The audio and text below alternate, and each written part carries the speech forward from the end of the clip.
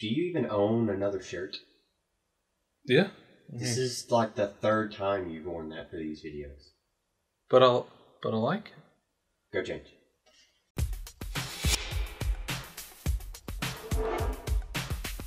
Welcome back to Just One Cent. I'm Jared. I have a new shirt. We have a new episode of Gotham to talk about. So let's get going. Episode 2 starts out with the proverbial face from the shadows coming forth to light, and we meet Catherine, the ambassador of sorts for the unnamed group. Her and Bruce had a conversation, and she said the name wasn't important, but it kind of is. It's the Court of Owls. That's kind of a big deal. An ultimatum was given that may set the tone for the rest of the season, if not the series. I'll let you watch to figure out what that ultimatum is. It was quite mm, monumental. And now for a new segment in our Just One Cent Gotham series Dean's Comment of the Week. Bruce outsmarting the of Owls. Nice. Wait, disregard that comment. Please don't make the deal with them, Bruce. Use common sense. This has been Dean's comment of the week. I think the ultimatum is going to drive the story forward well. Uh, it's going to make for some interesting back and forth between Bruce and what he's going to do next.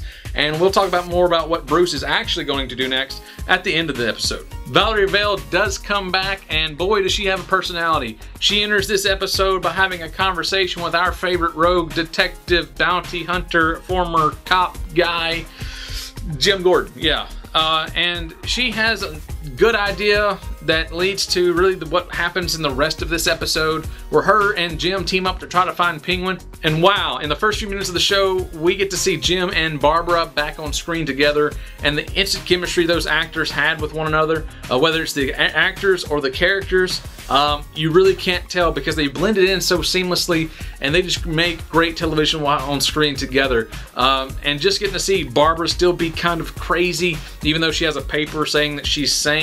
Mm, I don't think she is. Um, but just seeing her toy with Jim was just intriguing. You wanted to see what happened next. I found myself laughing at the situation. Uh, it was just entertaining. Some folks are speculating that she's actually going to be Harley Quinn online. I've seen uh, several people talk about that. I don't believe it, and I don't believe it should be. Uh, she's doing a great job as Barbara Kean. Uh, yeah, she's a little crazy. Yeah, she does have some Harley Quinn kind of antics, but she's Barbara, and she's perfect as she is. She shouldn't change. Okay, in last week's episode, we got to see Ivy for a little bit, but we didn't know what really happened to her by the end of the episode.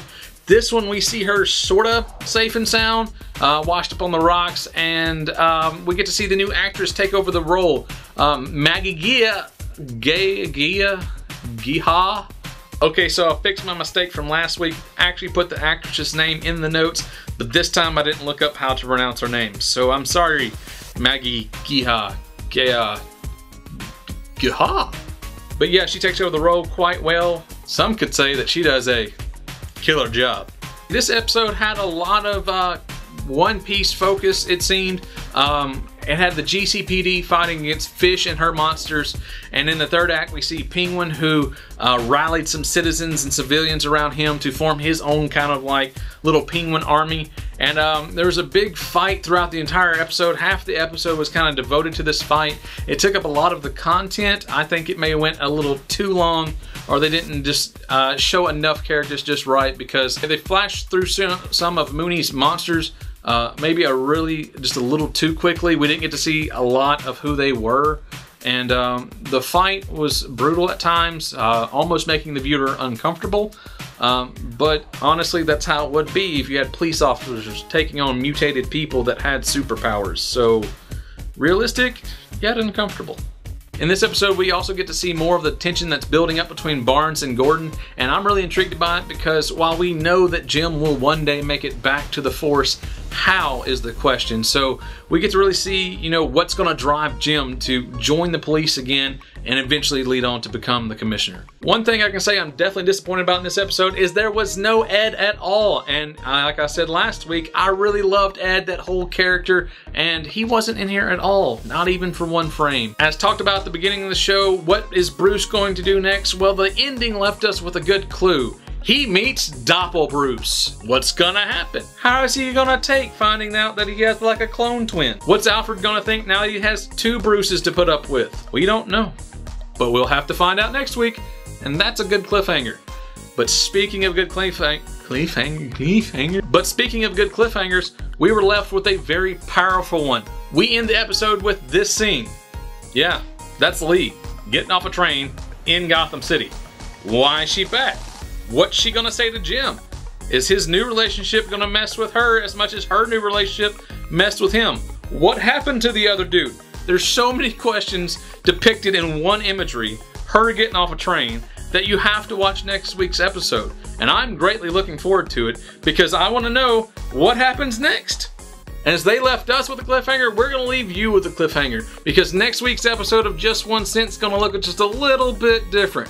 How will it look? How will it be different? You'll have to tune in next week to find out, and we hope to see you then. Bye bye. No, be happy. Be happy. No, say bye bye in a happy way. Oh, bye bye. No, bye bye. Bye bye.